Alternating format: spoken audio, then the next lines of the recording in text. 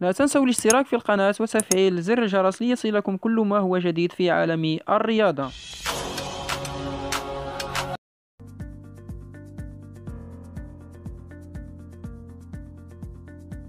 يلاقي الوداد الرياضي ضيفه نادي اتحاد طنجة في مقابلة شكلية للنادي الأحمر وذلك برسم الجولة الثامنة والعشرون من البطولة الوطنية الاحترافية.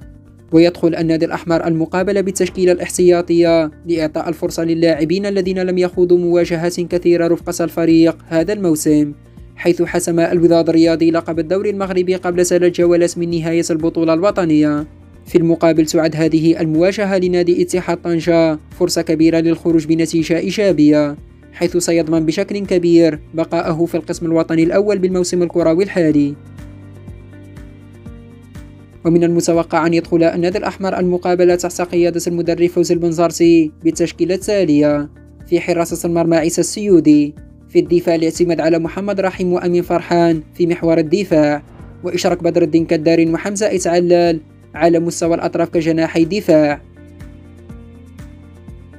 في الوسط الاعتماد على سفيان كركش وعبد الله حيمود بالإضافة لأنس السرغاس على مستوى خط وسط ميدان النادي الأحمر.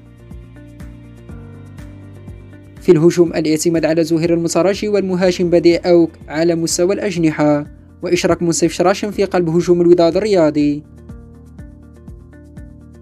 وسوق مباراة الوداد الرياضي وضيفه نادي اتحاد طنجة يوم الأحد انطلاقا من الساعة الخامسة عصرا على أرضية مركب محمد الخامس بالدار البيضاء وذلك برسم الجولة الثامنة والعشرون من البطولة الوطنية الاحترافية. للإشارة المقابلة بين الفريقين ستنقل على قناة الرياضية المغربية.